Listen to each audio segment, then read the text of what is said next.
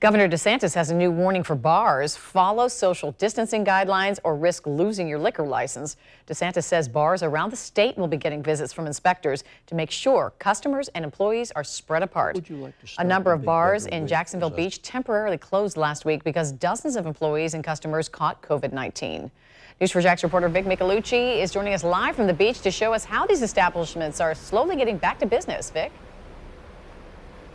Yeah, Mary, it has been difficult times for these bar and restaurant owners, the managers, as well as the staff members who had been out of work. Then they went back on the job and now they're out again. Many of these restaurants are open again. Today we went by Taco Lu. They're doing to go only. And if you go up and down this strip, you will see different cases every place telling us that safety and sanitation are the top priorities.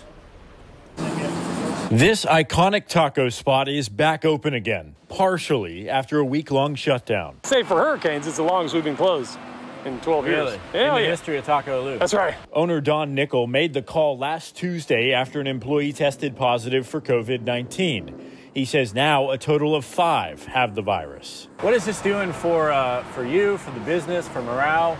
Well, when you go from you know, almost back to normal business to zero, it's a big difference. Uh, morale is really tough. But really, this is our first real taste of a quarantine because we've been open this whole time. Today, they're back to to go orders only. The dining room remains closed until more employee test results come back.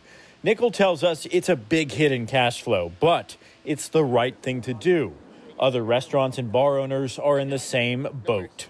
This afternoon, Florida's Governor Ron DeSantis said the state will keep the 50% capacity at restaurants, bars, and pubs, urging them to be responsible after a rise in cases, especially around people between 25 and 34 years old and that's starting to change, particularly in the younger demographic. So I think that I think folks understand. I think they understand we've got to we've got to get this done in a good way. Many businesses at the beach, like Angie's Subs, are back open after a deep clean.